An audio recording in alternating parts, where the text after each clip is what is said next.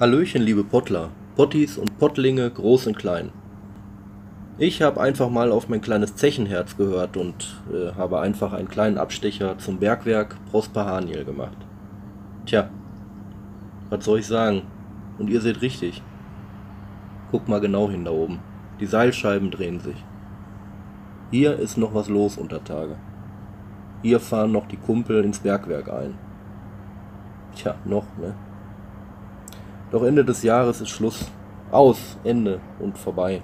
Das war's, die letzte Schicht naht. Jetzt ist Strukturwandel.